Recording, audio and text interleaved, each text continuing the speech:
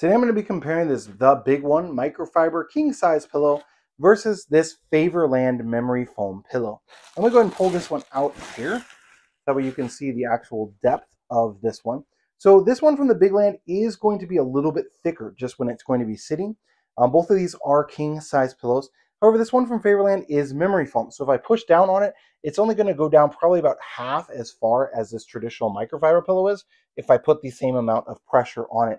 And that's because of the density of the memory foam.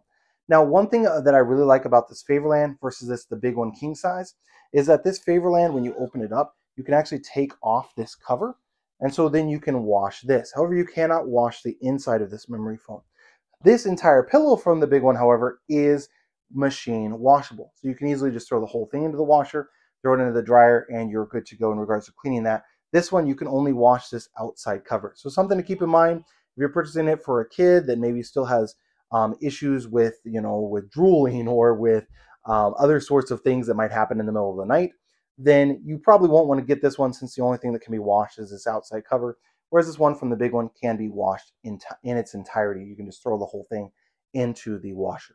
Overall, if I had to choose one to sleep on every night in and night out, I would choose this Favorland pillow. Uh, this is the one that I personally use on a regular basis. We actually are planning on using this for like uh, pillows that we throw up onto the bed and then you know just kind of lean up against if we're watching TV or something like that.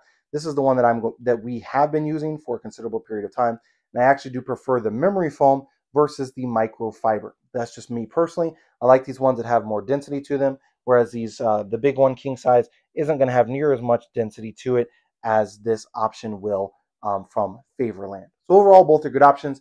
But that's why I choose the Favorland if I had to only purchase one pillow.